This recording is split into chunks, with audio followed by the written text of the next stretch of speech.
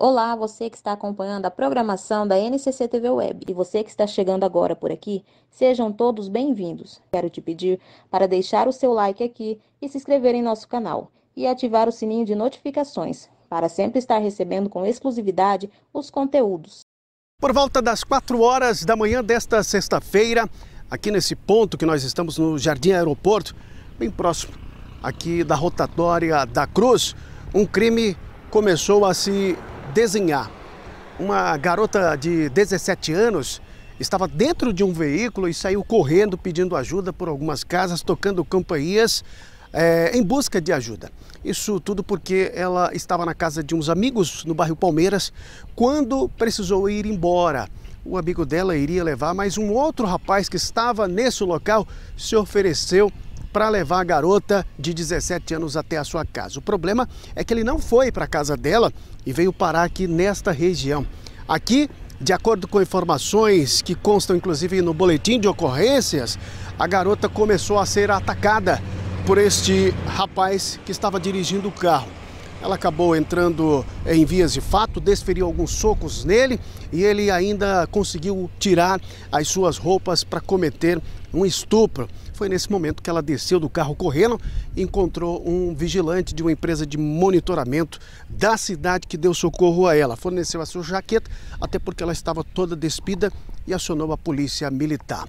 A polícia militar foi até a casa de onde esta jovem de 17 anos teria saído na companhia desse rapaz, não encontrou lá, porém descobriu o seu endereço.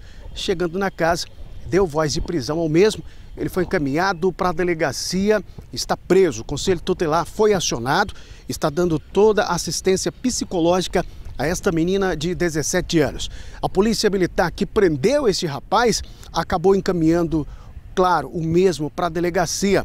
O tenente Barbosa, que comandou esta operação, deu detalhes de como os policiais chegaram ao paradeiro desse rapaz. A polícia militar ela foi acionada por volta das 4h50 da manhã por um vigilante né, de uma empresa particular aqui, dizendo que tinha localizado uma vítima, uma moça, né, próxima à rotatória da Cruz, já sem roupa, né, e ela disse para ele que tinha sofrido uma tentativa de estupro. É, diante do fato, a equipe policial deslocou, encontrou ela, ela já, já estava com a jaqueta do, do, do funcionário, né, do vigilante, e ela ali começou muito nervosa. Aos poucos ela começou a repassar o que aconteceu. Falou que estava na casa de uns amigos e o um momento para ir embora, um rapaz ofereceu carona e ela explicou onde seria a residência dela.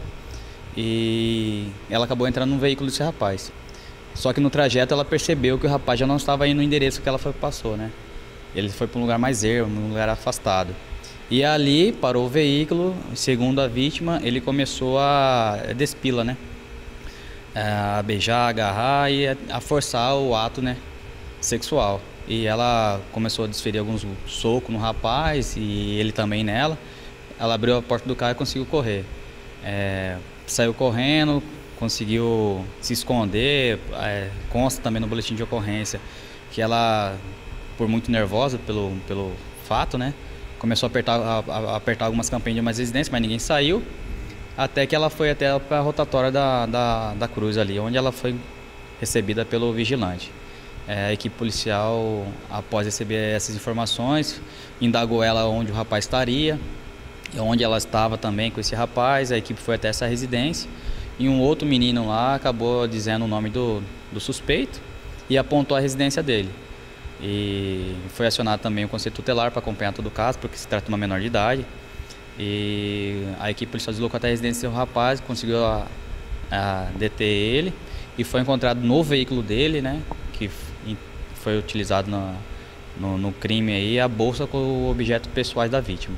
O rapaz e a vítima aí foram apresentados à delegacia e agora está à disposição da autoridade policial. Agora o rapaz que foi detido vai responder pelo crime de tentativa de estupro com violência consumada ele vai ficar à disposição da Justiça de Nova Mutum. E a garota continuará recebendo assistência por parte do Conselho Tutelar. A nossa equipe tentou conversar com familiares e com a própria garota, mas não obtivemos sucesso e nem encontramos elas no local onde ela estaria prestando depoimento, que é a delegacia da Polícia Civil. A polícia continua investigando o caso. E aí, gostou dessa reportagem? Então já deixe seu like, se inscreva em nosso canal e ative o sininho de notificações para sempre estar recebendo com exclusividade os conteúdos. Ah, e nos ajude a divulgar o nosso trabalho, compartilhando os nossos conteúdos, e assim você está colaborando para que possamos sempre estar informando você e todas as pessoas ao seu redor dos fatos que acontecem na sua cidade, na sua região, no nosso estado e também no Brasil e no mundo.